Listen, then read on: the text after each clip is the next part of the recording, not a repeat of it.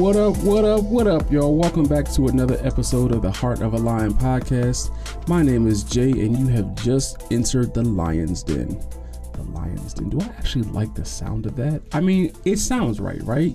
You know, the Heart of a Lion, the Lion's Den. I think it makes sense. If it sounds corny, I could always go back and change it later. But welcome back to another episode of the Heart of a Lion podcast. And today, we are talking about compromising Christianity.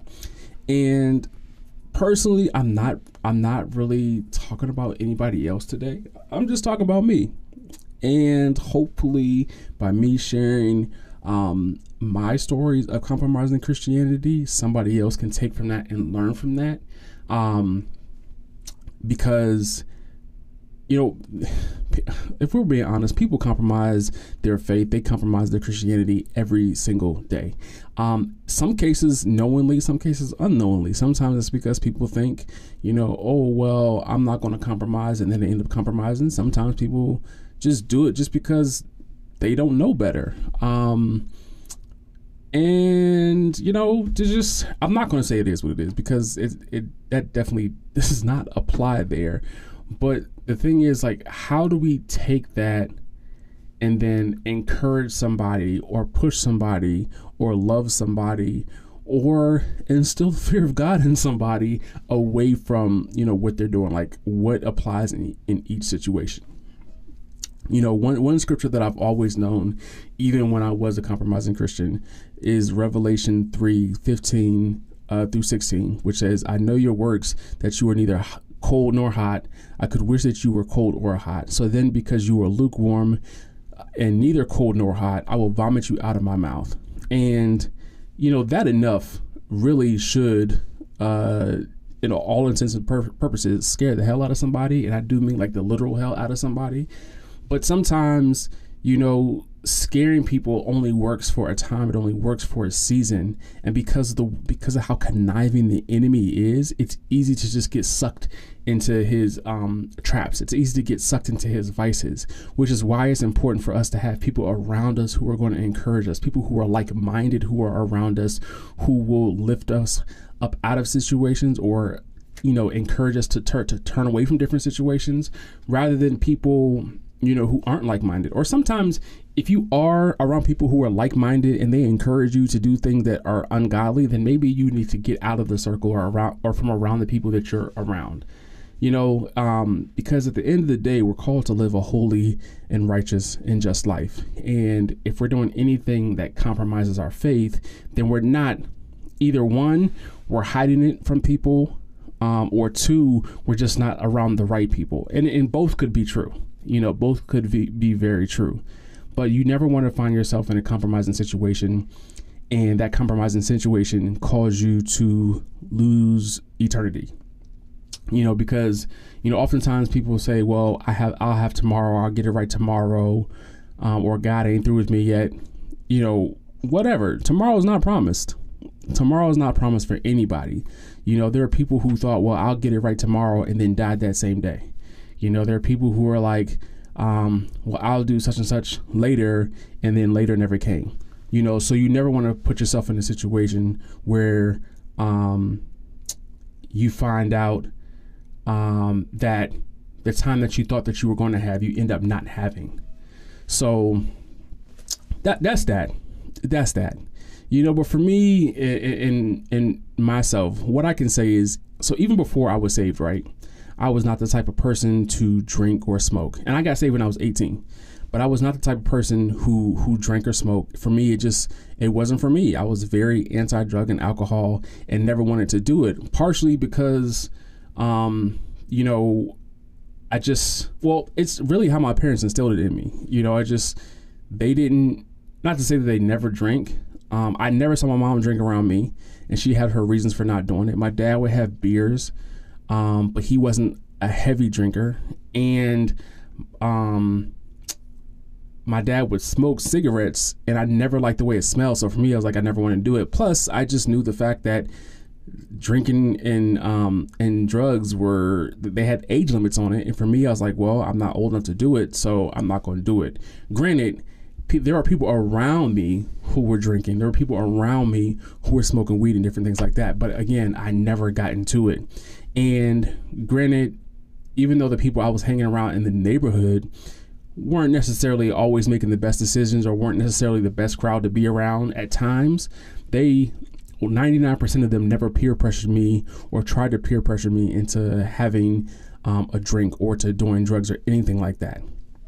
You know, so much to the point where if I told them, hey, pass me that right there, they would just look at me like I was stupid because they knew like I was joking or they knew like that that wasn't my thing, that I wasn't really into it. So it was like God was protecting me through them, even if they weren't making the right decisions decisions, God was still protecting me through them before I was saved. And I'm so grateful for that. You know, um, and I honestly did not have my first drink until I was 21, almost 22. And me actually having that drink came as a result of peer pressure and not because I actually wanted to drink. I, I remember like turning down the drink a couple times, but the person um, that I was out with at that time continued to, to pressure me and made it sound good or enticing. So I was like, sure, I'll have a drink and then I that was my first drink, and I liked the way it tasted.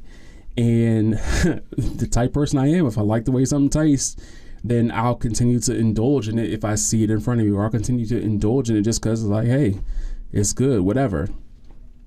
And you know that led me into like my like my early to mid 20s you know just going to, to get-togethers and drinking wine and alcohol whatever and i would never get drunk but I would definitely get tipsy. And when I was tipsy, people liked being around me because I just I was silly. Like I just I, I laughed uncontrollably and like it just it was funny to laugh at back then. And when I look back at it, it was like it was really stupid, honestly. But it was just it, it, it was cool, quote unquote, you know, or I had a high tolerance so I could drink a few wine coolers and not really feel anything. Um, and mind you, all the people that I'm doing this around, all of us are Christians. But and so we were all indulging in it. And again, I just didn't think anything of it. And so, you know, some time passed. I would say a few years passed. Mind you, I will say I was not doing this every time we hung out. But there were times where we would hang out and this was specifically happening. But, you know, some time had passed and then I realized like, yeah, I'm not really I'm not really feeling this you know, I'm giving this up, uh, whatever. Um, and not necessarily giving up the taste of wine or alcohol then, but more so just giving it up, doing it as a social thing. And uh, so, so after that, you know, I, I say I'm going to stop doing it. I'm not doing it anymore, whatever.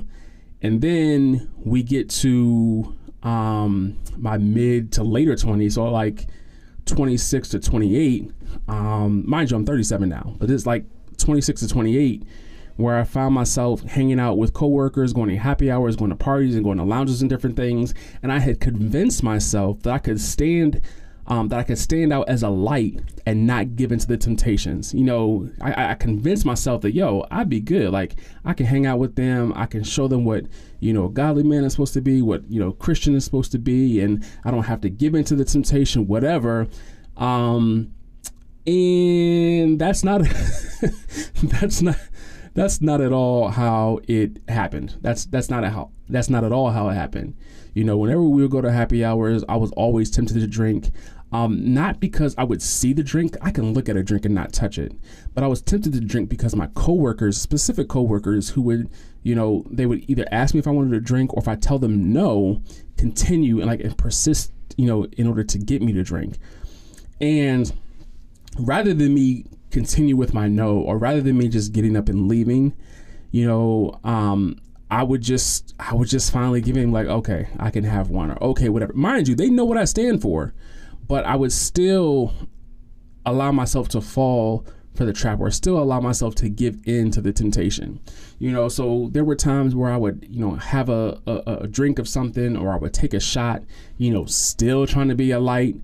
Um, and I mean, on one hand, the, the happy hours were fun because we would play pool, we would eat food, we would talk about whatever, we would decompress from the workday and just have a good time. But again, the drinking part is where I really messed up because it's like I told myself that I wasn't going to give into this again, and here I am finding myself giving into this thing again. You know, there was times where I would you know, I had gone to different parties that they would have, or uh, time I had gone to a lounge, and I remember I went to one party where I actually did not drink. And I noticed that there were these gummies in a bowl, and I love gummies. But I thought to myself, you know, no, I'm not going to be greedy today. I'll be okay.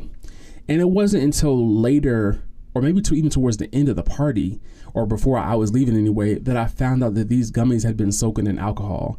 And I was like, dog, like, thank you God for looking out me out for me. Thank you for, you know, putting it in me on tonight that I don't need this or I don't need to indulge in this because who knows how many gummies I would have had because again I told you earlier that whenever there's something that I like, I will just it's greedy honestly. I just I, i'll eat it and drink it because it's sitting in front of me. Like i have to i literally have to stop myself sometimes like nah i'm tripping. I don't need this you know? So i did not partake in the gummies on this particular night and you know i definitely dodged a bullet there because as much as they were soaked in the alcohol i also don't know if there was anything else in it.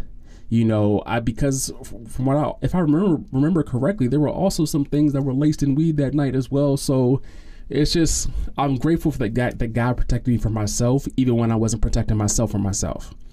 You know um, but there was uh, one night we had gone out to a lounge and you know then in that moment you know i thought it was cool i had a good time just I didn't really dance with no uh, young ladies, but just you know danced, you know, by myself, enjoying myself, whatever.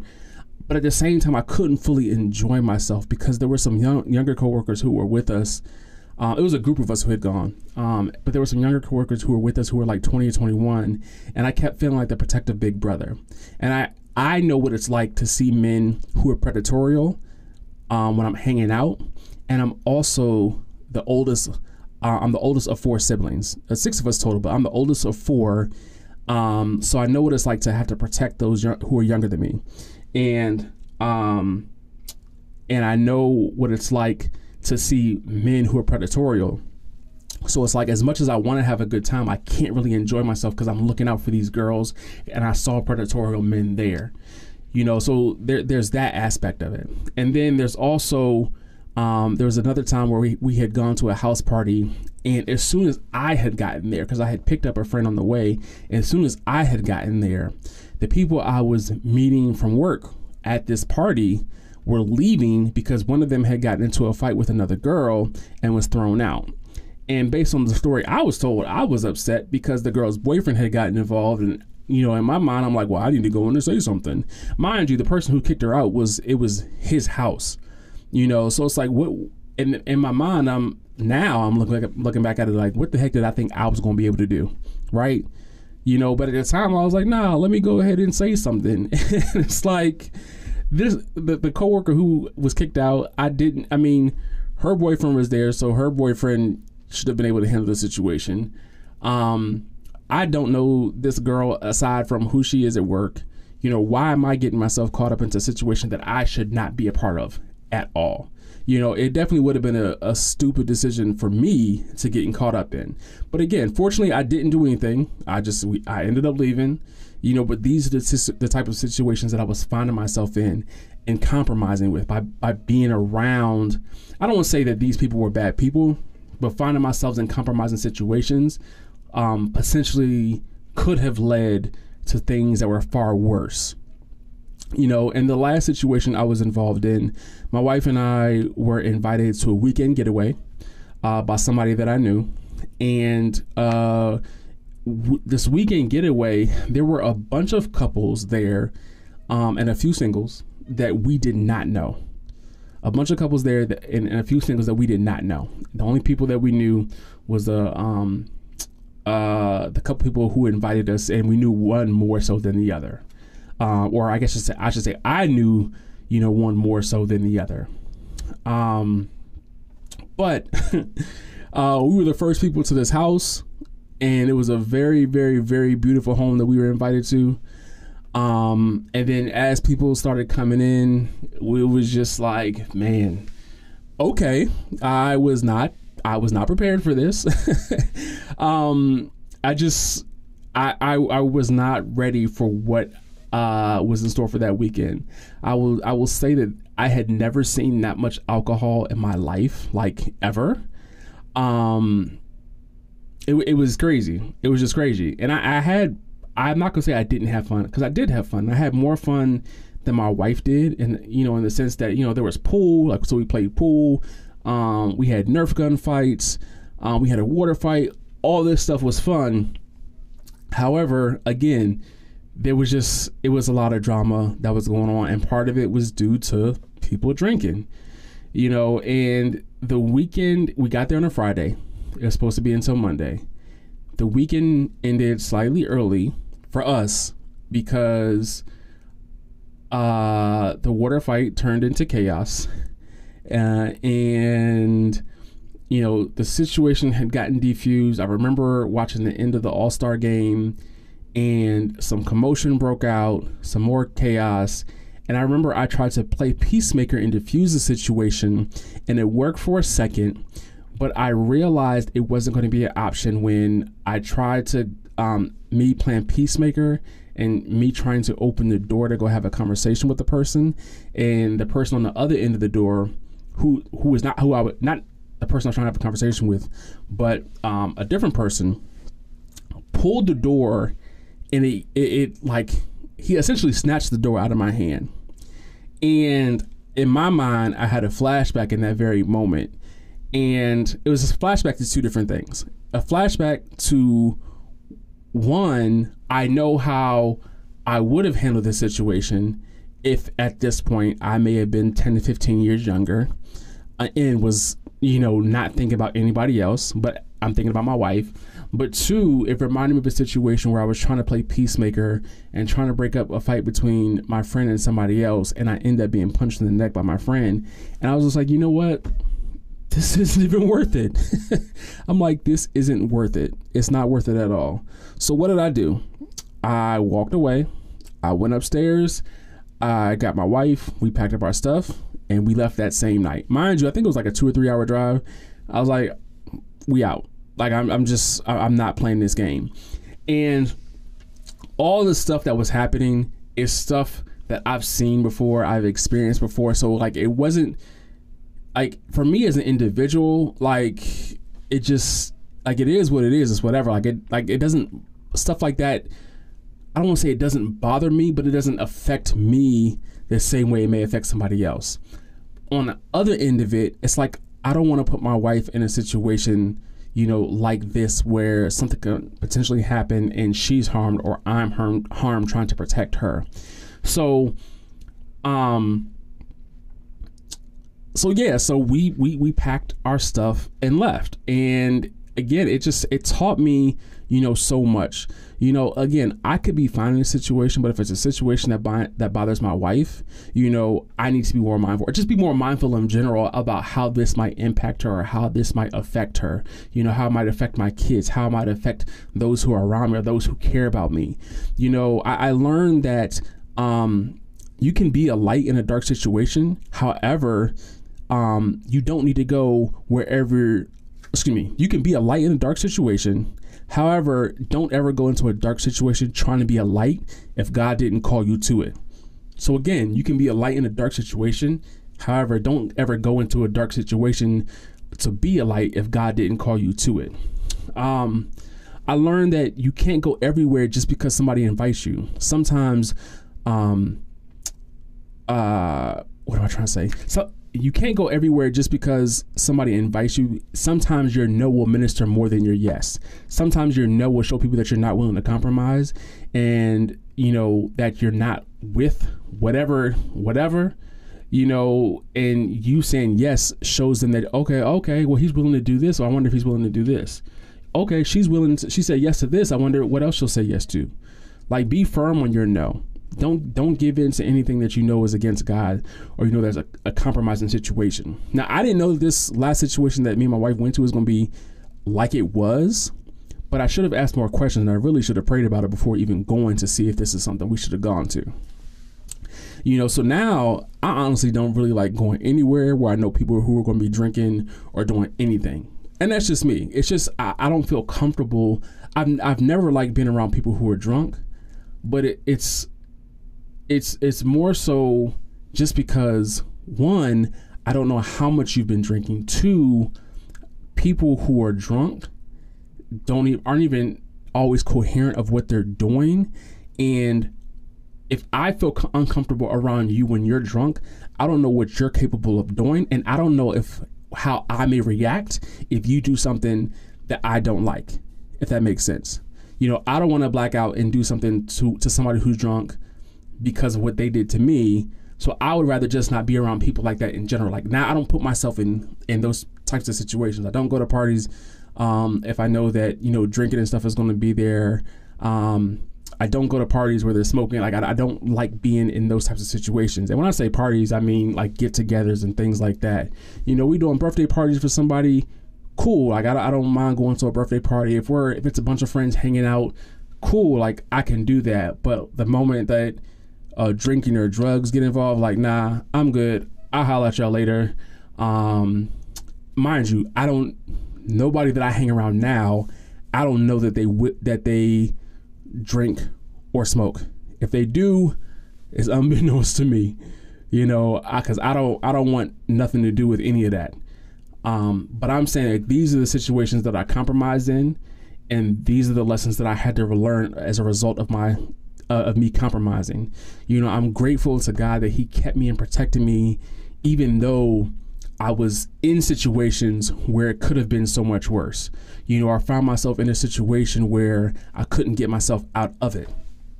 You know, and for me now, like I stand firmly on Proverbs 31, verses 4 through 8, when it says, um, anybody who thought Proverbs 31 was only for women, no, it is not. That starts at verse 10.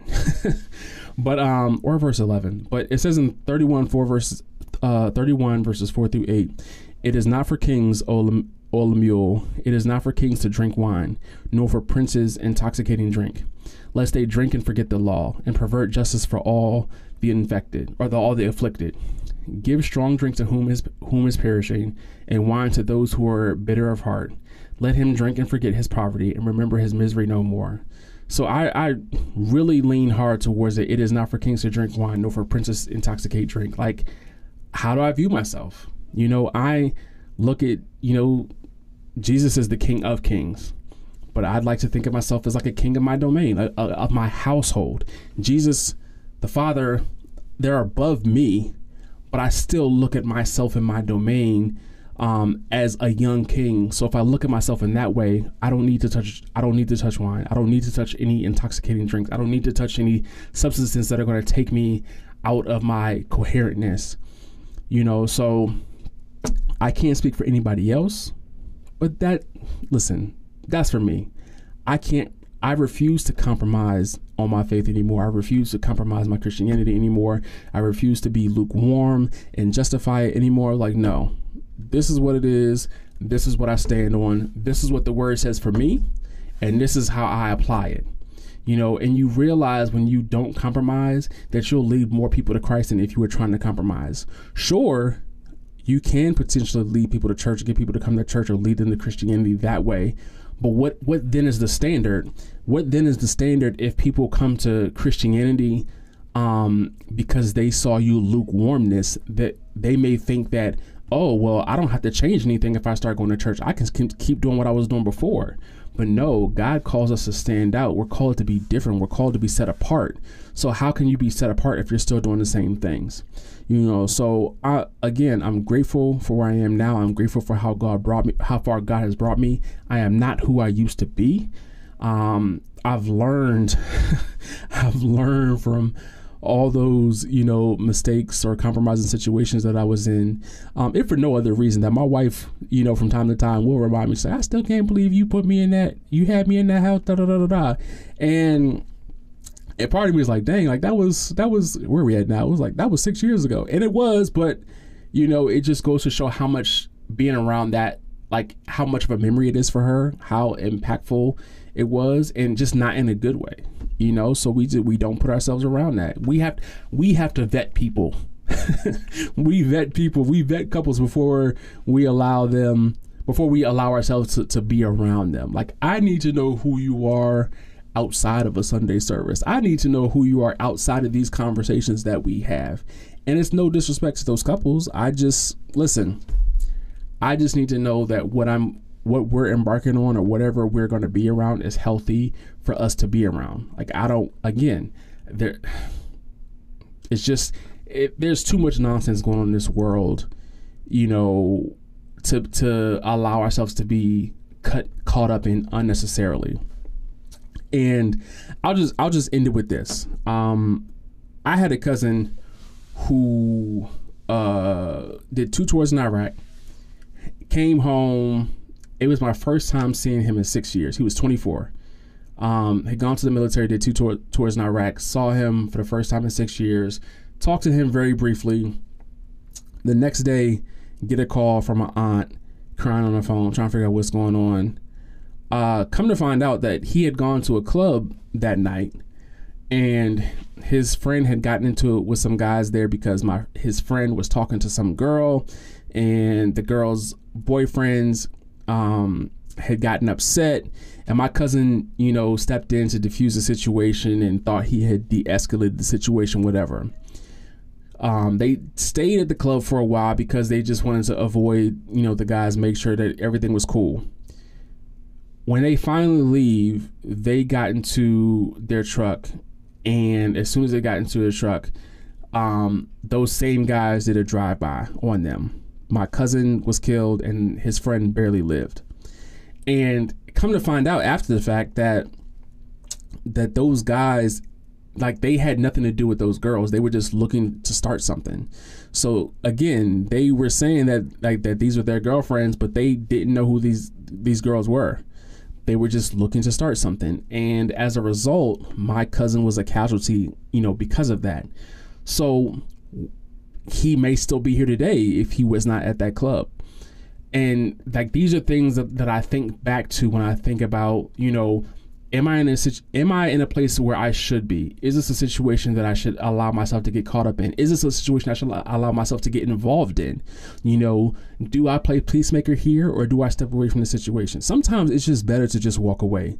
You can't be peacemaker to everybody. If you got somebody that's a Tasmanian devil, if they're a firecracker, if they get angry or want to blow up every time, you know, the little the smallest thing ticks them off, then maybe you shouldn't maybe you just shouldn't be around that person. But hey, again, these are the things that I think about, and these are the reasons why I just now I just stay in my own lane. You know, I I I do the things that God would have me to do. I, I spend time with my family. I go to church. I do other things here and there, but I'm not going anywhere where I may feel like my salvation is on the line, or I may feel like my life is on the line.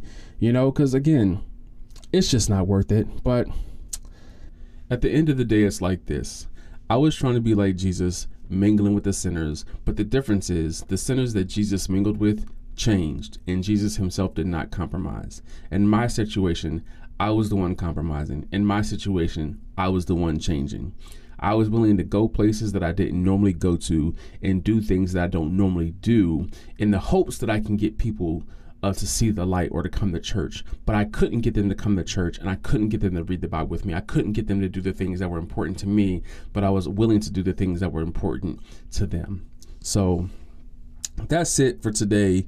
Um, thank you for tuning in to another episode of the Heart of the Lion podcast. I appreciate you, I appreciate you all so much for tuning in.